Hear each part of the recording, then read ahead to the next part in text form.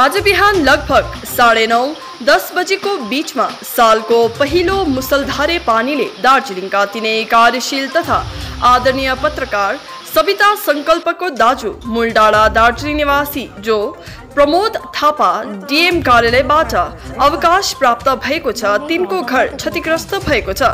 उक्त थापाको तीन कोठा भएको घरमा दुई कोठा चाहिँ मुसलधारे पानीले बगाएर घरेलु सामानहरू सबै नष्ट भएको छ भने परिवारहरू सुरक्षित रहेको खबर प्राप्त भएको छ।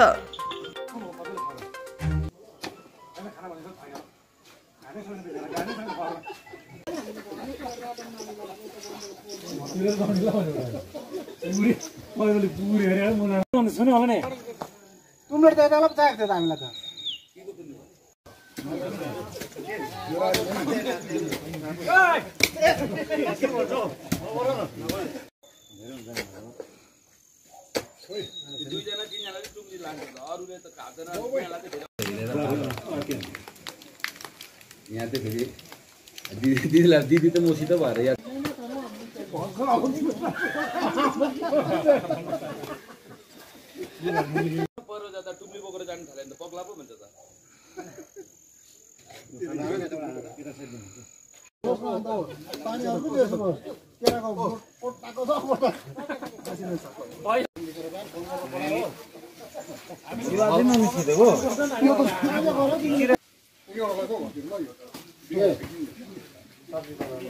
गएको थिएँ यो यताउति लेउहरू लागेको छ र त्यो यताउति राख्नुहोस् छर्नुहोस् भनेर पुऱ्याउन गएको थिएँ।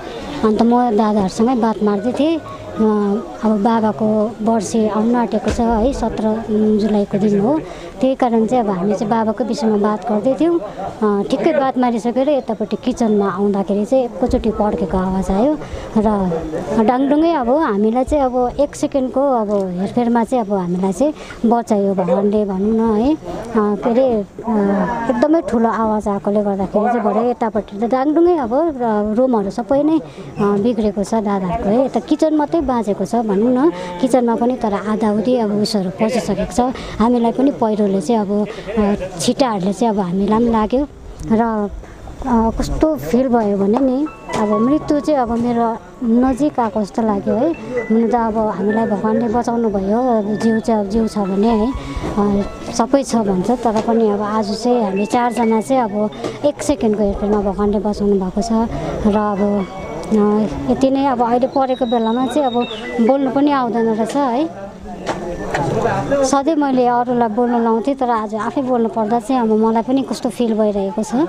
यता यता घरमा चाहिँ सानो घरमा चाहिँ दादा भाउजू बस्नुहुन्छ अन्त भदैहरू बस्नुहुन्छ भदै बुहारीहरू अनि नातिनी पनि छ है सबैजना बस्नुहुन्छ। दादाहरूको जति पनि अब मेन चिजहरू सबै थियो है त्यो सिटिङ रुम र यतापट्टि ठुलो रुममा नै थियो सबै नै।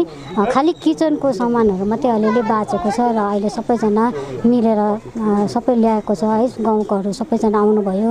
अनि विशेष गरी किस्मत भाइ पनि आएर यताउति सबै म्यानेजमेन्टहरू गर्नुभयो। सबैलाई फोन गर्ने सबैलाई फोन गर्ने त्यो जो जो विभागीय अधिकारीहरूलाई गर्नुभएको छ। हाम्रो प्रेस गिल्डका सदस्यहरू पनि हुनुहुन्छ अन्य च्यानलका पनि हुनुहुन्छ प्रिन्ट मिडियाकाहरू पनि हुनुहुन्छ र यहाँ सबै सबैलाई म हार्दिक धन्यवाद दिन चाहन्छु र अलिक बेसी बोल्नु सकिरहेको छुइनँ किनभने म अहिले पनि कामिरहेको छु। कस्तो डरलाग्दो अब यस्तो खालको घटना भयो र यो एरिया चाहिँ अब अहिले पनि रातभरिमा पनि जानु सक्छ। यहाँ सबैतिर चर्किएको पनि छ र अहिले सुन्दैछु गाउँतिर अरू ठाउँहरू पनि चर्किएको छ भनेर र विभागीय अधिकारीहरूलाई चाहिँ अब झट्टैभन्दा झट्टै रेस्पोन्स लिएर चाहिँ यो भेगको चाहिँ अब सर्वे गरिदिन हुन म हार्दिक निवेदन गर्दछु। मलाई चाहिँ यस्तो लाग्छ यहाँ माथि चाहिँ अब हाम्रो के अरे एकजनाको घर छ है त्यहाँनिर चाहिँ बारी पनि छ र त्यहाँनिर चाहिँ ठुलो त्यो केराको दाम्चाहरू भएकोले गर्दाखेरि पनि होला किनभने मलिलो हुन्छ है केराको त्यो जुन चाहिँ घाँसहरू भएको ठाउँ हुन्छ त्यो मलिलो हुन्छ भन्छ। र त्यो एकदमै ठुलो गाछ भएकोले गर्दा र सायद त्यो बाटो पनि अलिकति डेलिकेटै भएकोले गर्दाखेरि चाहिँ त्यहाँबाट डल्लै बाटो आएको छ। र अब बेलुकीसम्ममा त्यहाँ अझै पनि पहिरो जानु सक्छ। र अब त्यो त्यहाँनिर नालीहरू त छ बनाएकै छ है। र पनि तर यतापट्टि साइडमा चाहिँ अब त्यस्तो खालको उयो छ अलिकति डेलिकेटै छ भनौँ न।